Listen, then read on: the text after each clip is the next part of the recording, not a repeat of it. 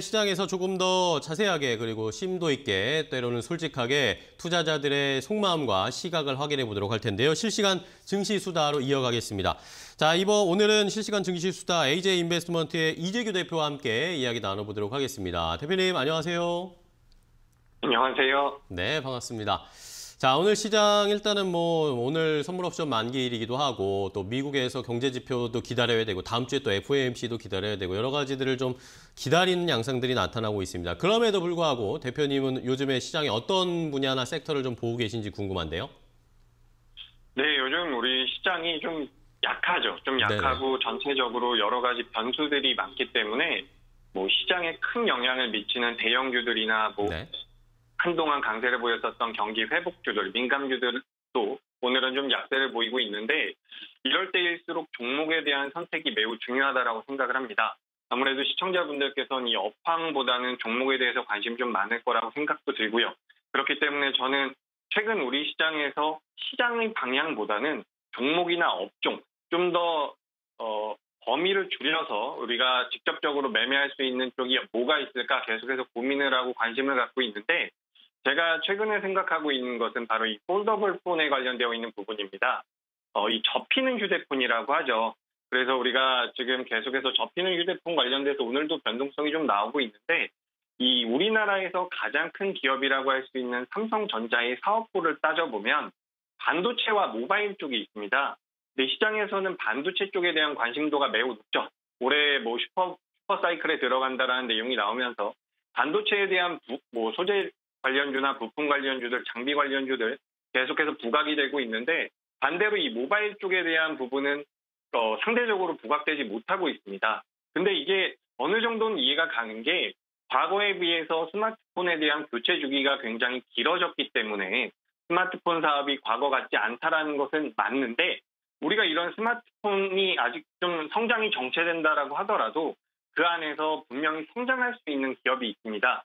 제가 앞전에 말씀드린 것처럼 오늘은 이 폴더블 폰, 접히는 휴대폰에 대해서 좀 관심을 가져볼 필요가 있다라는 말씀을 드리고 싶고 이 접히는 휴대폰이 올 8월 달에 삼성전자를 통해서 출시가 된다라고 하는데 2019년도에 약 200만 대 정도가 판매가 됐다라고 해요. 근데 이게 2020년도에는 약 7, 약 700만 대 정도가 판매될 것이라고 하고요. 내년에는 1,700만 대가 넘어가면서 어떻게 보면 굉장히 큰 폭의 성장이 있을 거다라고 합니다. 그렇기 때문에 우리가 지금 시장에서 딱히 강세를 보이고 있는 업종이나 종목을 찾기 어렵다라고 한다면 당장 지금 눈앞에 있는 흐름보다는 앞으로 8월 달에 있을 이 폴더블 폰에 대한 출시 모멘텀을 가지고 있는 뭐 부품주들이라든지 관련되어 있는 종목들을 우리가 좀 종목별 강세다라고 생각을 하면서 접근을 해본다면 어, 충분히 매력적인 분야가 아닐까라고 생각을 하고 있습니다. 네, 좋습니다. 자, 말씀해 주신 것처럼 오히려 이런 시장에서 방향성 잡기 힘들면 중장기적으로 투자하면서 좀 수익 볼 수 있는 섹터로 말씀을 해 주셨는데 자, 그럼 폴더블 폰 관련 종목들 어떤 종목들을 좀 볼까요? 네, 이 폴더블 폰 같은 경우는 접힌다라는 음. 것이 가장 특징적이죠. 그렇죠? 그렇기 때문에 이 접히는 부분에 들어가는 부품을 만드는 회사들이 좀 부각될 가능성이 높은데 어, 접힌다. 이 우리나라 말로는 경첩이라고 하죠. 경첩 같은 역할을 하는 힌지를 만드는 기업이 있습니다.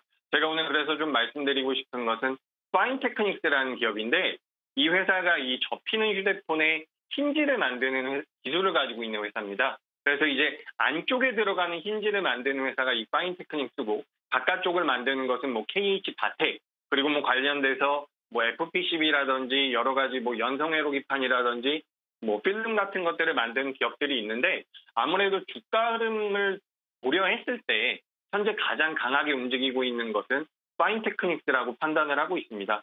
그래서 이 파인테크닉스가 올 1분기가 원래는 비수기, 이 회사의 그런 수익 사이클 자체가 1분기가 비수기인데도 불구하고 1분기 때 선방하는 실적을 내놨고 2분기부터는 계속해서 실적이 개선될 것이다라고 하니까 이 파인테크닉스라는 기업을 너무 단기적이진 않더라도 어, 그래도 좀 한 일주일, 이주일 내로는 어느 정도 결과물이 나올 수 있는 종목이다라고 생각을 하고 또 긴 관점으로도 계속해서 삼성전자에서 이 접히는 휴대폰을 만들었기 때문에 뭐 내년에는 애플에서도 이 접히는 휴대폰을 출시한다라고 하죠. 그래서 이런 부분들이 계속해서 이슈가 된다면 지금 시장에서 너무 관심도가 높은 반도체나 2차 전지나 뭐 경기 민감주보다 좀 더 편하게 매매하실 수 있지 않을까 이런 의견 드립니다.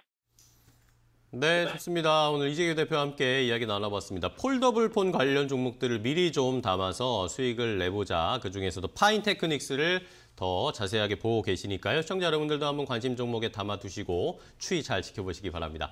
자, 대표님 오늘 또 좋은 이야기, 좋은 종목도 알려주셔서 감사하고요. 다음 시간에 또 뵙도록 하겠습니다. 고생 많으셨습니다. 고맙습니다. 감사합니다. 네.